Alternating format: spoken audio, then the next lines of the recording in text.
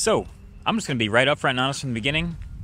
I got a lot of good things to say about this car. This is probably the most high-tech and impressive luxury electric car I've ever seen. Actually, it is, because I've tested some others that would be close. The Lucid Air would be close. Things like the Maybach, things like the Bentley Flying Spur. I'd take this over all of them, okay? And that says a lot. So let's just get right into it. I'm I'm gonna hopefully try to cover everything that is so impressive about this car. I might miss some stuff, but let's just start with the basics. So BMW i7, not the first BMW that I've tested on this channel, and so it's not the first one with this crazy look at the front. It kind of grows on you, but whatever, we'll focus on that later. The point though is the basics are it's a full-size luxury sedan long sedan, just like you've seen with these other luxury ones. Huge hood. It's longer than a Cadillac Escalade. But with that, they move all the electronics up to the front. Pretty good amount of trunk space. Huge back seat. Huge front seat. And it's got dual motors. Rocking around 530 horsepower. It'll do a 0 to 60 in about four and a half seconds. So it's not slow by any means. Um, and at a full charge, I'm seeing about 270 to 280 miles of range. I looked on their website and it's showing things like 300 to 320, but I think in uh, winter you'll probably expect to get a little less. This is the way it's designed. I would personally never get this color, but I get that people who are buying this car probably don't mind that. You can see the tail lights here are these like little slots. Of course, it's still the classic BMW logo with one of the cameras here on the back. And if you want to open the trunk, I'll just go ahead and show you right off the bat pretty good amount of trunk space. Not the biggest opening here. I tried to put a box in here and it was a little bit tight, but it still worked. And you have sub trunk space too for all your charging equipment if you want to put it down there. So that's nice. And that is your trunk. So nothing too shocking there. It is automatically opening and closing. And then you get around to the side. I mean, it's not a surprise that this car has a ton of room, but what's inside really that's impressive is the tech. And I kind of just want to get to that. I mean, we could talk about the outside. You want to talk about the wheels? Here. Big wheels, 21 inch wheels front and back. Pretty big brakes as well. Oh, it has these crystal headlights. Look at these. DRLs are all crystally, kind of like the Flying Spur again. Then these inset real headlights back here. And uh, squinting pig is what I'll call it. Kind of looks like a squinting pig. Now, when I was talking about competitors earlier, you know, full size luxury sedans, big four door sedans that are aiming to be soft and cushiony and comfortable much more than they are supposed to be sporty. So maybe a standard Model S, a Lucid Air, um, or a Maybach. I think the Lucid and the Tesla are much sportier and firmer, even at their softest settings, than this is. And the Maybach is kind of a match with this, and the Flying Spur is somewhere in between. I would take this over all of them, and I mean that when I say it. And that's half because of how comfortable it is, but there's so much tech inside that it's kind of incredible. So let's just get right into that. So it actually starts with the door. So this is the door handle here. You can hit that button right there and it'll pop open a little bit. But also it will completely open the entire door and it has sensors to know exactly how far it can open based on if there's a car next to you or something like that. So let's try that again. So it closes by itself. If I'm not next to the car, hit that button, checks. Now there's not next nothing next to it, so it opens all the way. That's pretty fire. You get in the car. If I want to close the door, I put my foot on the brake and it closes for me. That's already pretty solid. If you want to open it automatically, you hit that button right there. It's capacitive, which is kind of annoying, but it does the same thing. And I kind of, I kind of just want to do that every time. Now this is for sure 100% one of the cars that I would rather be in the back seat than the front seat. But if we're gonna get it, we might as well talk about being in the front seat. And to be fair, it's a very comfortable, solid experience. I, I was looking at these seats before. They kind of they say leather because this top half is leather, but then the bottom half is cloth. And I was a little bit confused by the cloth decision because that's I mean, it's comfortable, but it doesn't really feel quite as luxurious as the ones that are all full leather, so I'll at least mention that. Uh, but this this carpeting here is super soft, like everything around me is comfortable. The headliner is soft, Alcantara, everything is really well built. And it almost goes to the extreme as far as like comfort and quietness, where like it doesn't do frameless windows, it does these big, huge framed windows to have incredibly good noise isolation on the inside. I can have a whisper, I tested this, a whisper quiet conversation at 50 miles an hour. It's so quiet, just talking like this. Because the road is so silenced as you're driving that you don't even hear potholes at 50 miles an hour at highway speed. So you look around here at the basics. The steering wheel, pretty nice, comfortable, leather, couple buttons over here, couple buttons over here, cruise control stuff. You've got these air conditioner vents, and let's just look at these for a second. They are capacitive, so you can slide this little indicator on how much or how little air you want, or just tap, which I don't love. It still feels like I have to look to make sure I confirm exactly where I got it, but at least it's pretty responsive. And then there's this dial thing right here that lets you point the air wherever you want. So that sort of system works well. I just accidentally opened the door. That's probably why you don't want capacitive buttons. But that's a sort of theme you see everywhere. There is a lot of metal and there is a lot of leather, but there also is a lot of glossy plastic, especially here in the middle. We've, we've talked about this stuff in BMWs before. This light, this uh, crystal thing, the light comes in, it shines, it bounces like little rainbow reflections all over the car through the prism. It is what it is. This start-stop button is kind of annoying. If I'm going to nitpick, uh, I wish it wasn't so glossy because there's just a bunch of fingerprints that are going to accumulate around here. But wireless charger up here, out of the way, not a distraction for the driver. Two cup holders, some storage, and some USB-C ports in there. And of course, a door storage, your handle, and all the window controls and child lock and stuff over here, and then seat controls. Lock and unlock. Good to go. Here's your two screens up front with BMW's newest iDrive system. This one is actually kind of interesting because if you want to switch up what you see behind the steering wheel, which is this is the uh, the AR mode, which would overlay directions on top of the road, but that's only when you're using the built-in navigation system. You also have Android Auto or Apple CarPlay wirelessly, which I much prefer. Um, but that's at least here. There's also a really good HUD you can see where it would pop up right there, and you can choose what displays on the HUD and on this layout down here whenever you want. So it's pretty good. It's, it's responsive, it's straightforward, all this stuff makes sense to me, and so that's sort of just a moot point. Like there's other stuff happening with BMW software, and there's all kinds of crazy tech still. This up here, it's got a sensor so that I can do this and the volume changes. I told you guys this is not something I would want to do while driving, but the fact that it works is kind of neat. So there's that. You can change the sound of the car's acceleration to an uh, iconic Hans Zimmer sound, and he actually composed the sounds for this car. Like there's just a crazy amount of customization and luxury and tech just in the front seat. And briefly, the driving experience, like I said, is super luxury focused. So very soft, very quiet. Absorbs potholes. It has three and a half degree rear wheel steering, super, super lightweight steering. So, I mean, you're driving around and it feels like you're barely connected to the road at all. You're just kind of floating over the top of it, which is, I guess, how you'd want to be limousined around, especially if you're in the back seat, which we'll get to. Um, but there's one other thing I kind of wanted to mention, and I never thought I would say this out loud, but the voice assistant in this car is actually pretty good. It's pretty decent. Okay, it does things like so you, you use the keyword, Hey BMW, close the roof shade. Closing the roof roller blinds. And it's pretty responsive, pretty quick, and pretty good at knowing what I actually want it to do. And it can do a surprising amount of things in the car. It can change your drive mode. It can turn up and down the volume. It can activate the massage seats, the heated seats, change the temperature in the car, all the basic stuff you'd want to do. So if the capacitive stuff happening on the dash is a little too much, yeah, the voice assistant is pretty good. There are microphones all throughout the car so that it knows which seat the voice is coming from. So if I'm in the back seat and I say, hey, assistant, close or open my shade, without even saying what seat you're in, it will close or open your shade because it knows what seat the voice is coming from. It's, it's kind of good. Most underwhelming piece of luxury in this car by far is the speakers. These are the Bowers and Wilkins speakers, so they're an optional upgrade, I believe.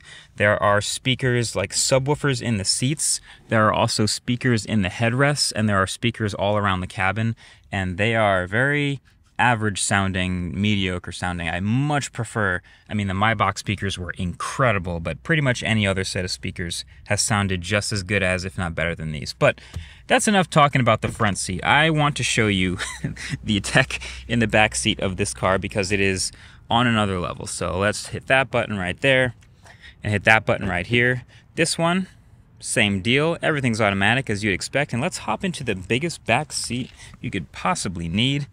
And this is the automatic close button right here. Ooh.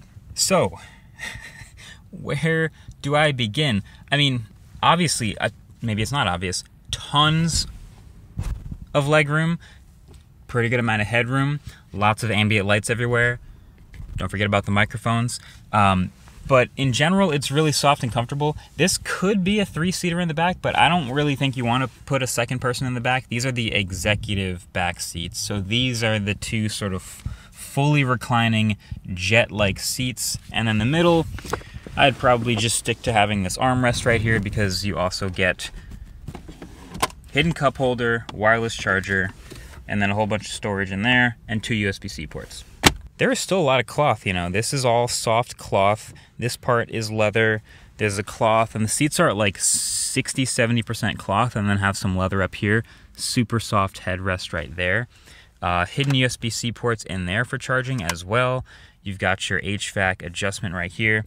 But you've probably noticed this already, so let's just get into it. There's a screen here. Each of the passengers has an entire screen instead of having a tablet in the back, and I kind of like this setup instead of like the tablets that we've seen that are detachable because they allow you to control everything about your specific seat's experience. What would you control about your seat experience? Your climate control, your blinds, right? So there's blinds in the back seat here. If I hit that little button, pops up the blinds, which is kind of like a shade slash tint mechanism, which is kind of fire. You also have the roof shade. You can control all that stuff. But of course, there are modes for the back seat too. And when I hit theater mode, it puts all of these shades up and drops down a 30 inch 8K touchscreen to watch movies and videos in the back seat. So this has to boot up it does this whole dramatic booting sequence, and because all the shades are down now, everything is much more visible. If the shade was up, it would be more reflective, like you see the reflection over there. But it does this boot up sequence, and it is an Amazon Fire Stick UI. So this car has its own SIM card, its own data connection. So when you connect it to your cell phone plan, it's like another device, like an iPad or something like that. And so it can automatically always be connected to the internet. And you can always stream the way you could from a Fire Stick because that's what the UI is. Now, if I can nitpick a little bit on the 8K touchscreen in the back, UI is really the only challenge with it. And that's really most of this car. Like there's so much tech, but the UI is a little tricky. Basically, this is the Fire Stick UI in the middle, and then you have a touchscreen on either side, which right now is just the time and the weather. So, I don't know, you kind of put that over to the side. Then when you want to change stuff about the display, you do most of the controls over on the touchscreen on the left, right? Okay, change aspect ratio to 32 by 9, make it ultra wide, or 16 by 9, or change the volume by swiping up and down, change where it is in the car. Maybe I'm the only one watching a movie, put it back in the middle for everyone. All of that is from the side, right? But if I want to actually play with this part, then you, you this this part it's a little bit janky.